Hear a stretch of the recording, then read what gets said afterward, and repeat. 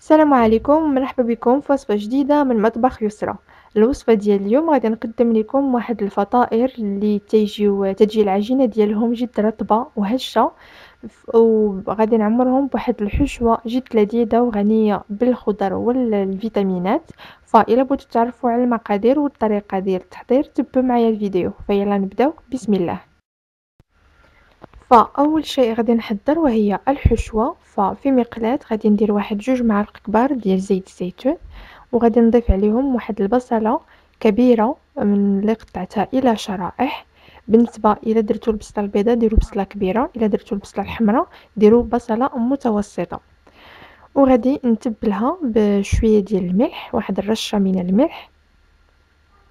وكذلك شوية ديال الفلفل الأسود أو الابزار وغادي نخلي هاد البصلة هادي كتعسل وكتشحر يعني وكتدبل لينا حتى تتكرمل وكتولي على هاد الشكل هذا. فأنا غادي نحيدها من المقلاة نديرها في شي في شي طبسيل أو شي إناء ونخليها جانبا. ففي نفس المقلاة غادي ندير واحد جوج معالق كبار ديال زيت الزيتون. نضيف عليها جزرة متوسطة اللي حكيتها في الجهة الرقيقة. نضيف عليها كذلك آه، نص حبة من الفلفل الأسود الفلفل الأخضر والفلفل الأحمر عفوا.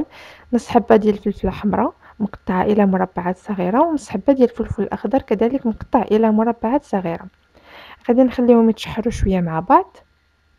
من بعد ما تدبل ليا الخضر غادي نضيف عليها واحد القرع القرع الأخضر القرعة الخضراء اللي هي حكيتها في الجهة الرقيقة. وغادي نخلطها مع الخضر ونخليها حتى هي يعني يتشحروا كاملين مع بعض. صافي هنا الخضر راها تشحرات وتقريبا قربت يعني قربت طيب. غادي نتبلها. غادي ندير شوية ديال الملح ما نكثروش من الملح حيت راه حنا دايرين البصله فيها الملح ومازال غادي نضيفو يعني الزيتون ونضيفو الطون. درت شوية ديال الفلفل الأسود واحد شوية ديال الكمون رشة من الكركم خرقوم ملعقة صغيرة مع مرش ديال الزنجبيل سكينجبير شوية ديال التحميرة بابريكا. ونضيف واحد رأس ملعقة صغيرة من بودرة الثوم غادي نخلط التوابل مع الخضر باش تشربها لي مزيان الخضر. فمن بعد غادي نضيف لهم واحد جوج معالق كبار ديال القزبر والمعدنوس الكزبره والبقدونس. من بعد غادي نضيف جوج معالق كبار ديال الزيتون اللي قطعته رقيق ممكن في بلاصة الزيتون ديروا آه، كورنيشون. يمكن آه، ما عرفتش ماشي الخردل. ما عرفتش بالضبط سميتو بالعربية. غادي نضيف واحد العلبة ديال التونه اللي صفيتها من الزيت ونضيف في الأخير داك البصل اللي راحنا يعني عسلناه في الأول. وغادي نخلط آه، المكونات كلها مع بعض تتشرب ليا تتبيله وتندمج مع بعض. فممكن في بلاصة التونة ديروا اللحم المفروم الكفتة أو ديروا الدجاج أو ديروا الديك الرومي. يعني المهم أصلا الحشوة كلها يعني كتبقى على حسب الذوق. ممكن تعدلوا فيها ممكن تنقصوا ممكن تزيدوا. ممكن ديروا أي حشوة نتوما كتفضلوا يعني ومعتمدينها عندكم. فصافي هنايا الحشوة هي يعني ناشفة وتشحرات ويعني تشربت المكونات. فغادي نطفي عليها ونخليها جانبا حتى تبرد. الآن غادي نحضروا العجينة ففي إناء غادي ندير الحليب الدافئ. ندير ملعقة طعام من الخميرة الفورية ملعقة طعام من السكر. غنضيف علبة ديال الياغورت. طبعا حتى الياغورت خصو يكون يعني بدرجة الحرارة ديال المطبخ يعني نكونوا مخرجينه من قبل من الثلاجة غادي نخلط هاد المكونات هادو مع بعض.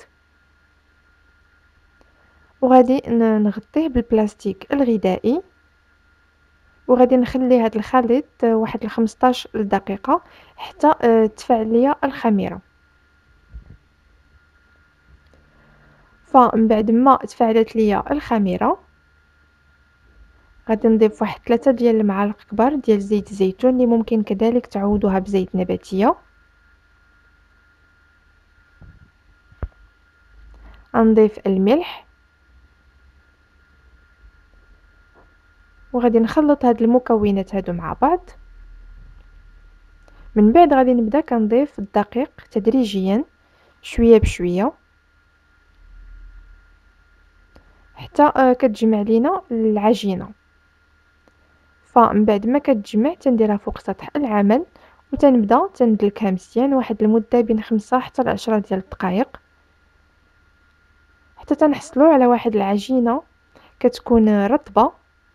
ولينه ومدلوكه مزيان فنجيب واحد الإناء ندير فيه واحد شوية ديال الزيت ندهنو به. باش ما تلصقناش العجينة في الإناء ندير فيه العجينة وغادي نغطيها بالبلاستيك الغذائي وغادي نديروها في واحد المكان دافئ مدة ديال ساعة أو حتى تختمر ويتضاعف الحجم ديالها. بعد ما خمرات العجينة فغادي نضغط عليها باش نخرج منها داك الهواء اللي تكون في الداخل ديالها. ونديرها فوق سطح العمل وغادي نبدا تنشكل منها كويرات. يعني كويرات متوسطة الحجم. من بعد كل كويرة غادي نبدا تنطلقها. فهاد العملية هادي راني كنت فايتة درتها لكم في الفيديو ديال البريوش أو الشنك اللي درته بالمربى وتيجي مورق ونال الإعجاب العديد العديد من الناس.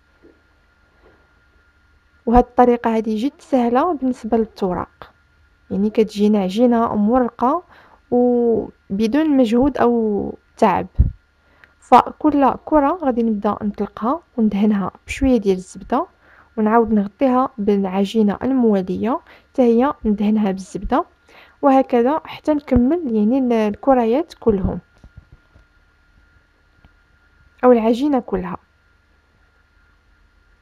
صافي في الأخير تندير يعني الكرة الأخيرة اللي طلقنا ما تندهنوهاش من الفوق بالزبدة تنبدا تنضغط من الفوق. صافي وتنبدأ تنطلقها. طبعا بالمساعدة شوية ديال الدقيق تنبدأو كنرشو حيت الزبدة غادي تبقى كتلصق لينا في في سطح العمل وكتلصق لينا حتى في المدلك. فتنرشو شوية ديال الدقيق وتنبدأو كنطلقوا العجينة على السمك اللي بغينا. بعد ما طلقتها فأنا غادي نحيد داك الزائده ديال الدقيق وغادي نلويها. فممكن هنايا ما تلويوهاش يعني كيف ما درت أنا ممكن يعني تقطعوها إلى شرائط كيف ما درت لكم في الفيديو ديال الشنيك أو البغيوش.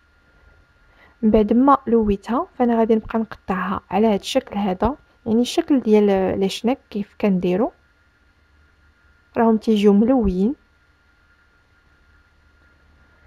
ومن بعد غادي ناخذ كل يعني ديك عجينة اللي راحنا مقطعينها على شكل شنيك غادي نبدا بالمساعدة ديال الدقيق. غادي نطلقها. تنرشو شوية شوية ديال الدقيق واحد الرشيشه ماشي بزاف. تنطلقوها بالمدلك. يعني تنطلقوها طوليا في الطول يعني ماشي في العرض أو تنطلقوها دائريا لا تنطلقوها في الطول. غادي ندير واحد الملعقة طعام من الحشوة اللي ضروري راه تكون تكون بارد بردات. وغادي ندير هنايا درت جبن ديال الساندويتش ممكن ديروا الجبن أي جبن عندكم جبن مبشور جبن ايدام أو الموتزاريلا أو أي جبن نتوما كتفضلوا وغادي نبدا كنسد الأطراف ونسدوهم مزيان. وفي الأخير تنحصلوا على هذا الشكل هذا يعني تيجينا بحال الشكل ديال العين. فنعاود ندير لكم واحدة أخرى. فأنا تناخذوا يعني واحد الكرة من العجينة. نديروا الحشوة الحشوة كنديروها على الكامل يعني ماشي في الوسط يعني حتى في الجناب يكون عندنا الحشوة تكون عامرة. غادي ندير شوية ديال الجبن. وغادي نسد الأطراف مزيان. صافي وتنقلبوها وتنديروها في الصينيه ديال الفرن. فصافي من بعد ما كملت أول صينية ديال يعني من العجينة. فغادي ناخذ واحد البيضة نطربها بشويه درت معاها شوية ديال القطرات ديال الخل ونطربهم. وغادي نبدأ كندهن دوك الفطائر بالخليط ديال البيض والخل. فأنا في هاد الأثناء راني كنت شاعلة الفرن تيسخن يعني ضروري قبل ما ندخلو الصينية للفرن يكون يكون الفرن مسخن من قبل. وغادي نبدأ كنزينهم درت حبوب ديال الخشخاش أو البافو. وكذلك بالسمسم. المهم ممكن ديروا خطيطات ممكن كيف ما درت أنا شي وحدين درتهم في الجوانب. وبالنسبة للسمسم درت خط يعني في الطول كله. المهم ممكن تزوقوا كي بغيتو في بالحبوب. ممكن ديروا الحبة السوداء كذلك. أو ديروا رقائق اللوز أو رقائق الشوفان. صافي وفي الأخير غادي ندخل الصينية للفرن يعني تطيب لي من التحت وديك الساعة عاد ديك الساعة نشعلوا عليها من الفوق باش تحمر وهكا تيكونوا الفطائر ديالنا هما وجدوا يعني كيف ما شفتوا العجينة كتجي رطبة وهشيشة وتيجيونا خاويين من الداخل يعني ما فيهم لا عجينة لا حتى حاجة. وتيجيو بحال اللي رحنا مصوبينهم بالعجين مورق الحشوة يعني راهم عامرين مزيان بالحشوة. نتمنى أن الفيديو ديال اليوم يكون نال الاعجاب ديالكم. إلا عجبكم الفيديو ديال اليوم ما تنساوش ديروا j'aime لا فيديو وتشتركوا في القناة وذلك بالضغط على الزر الأحمر اشتراك s'abonner أو subscribe وكذلك تضغطوا على الجرس باش توصلوا بجديد الوصفات لاي استفسار أو اقتراح انا رهن إشارتكم خليهم لي في التعليقات وإلى الفيديو القادم إن شاء الله. بصحه وراحه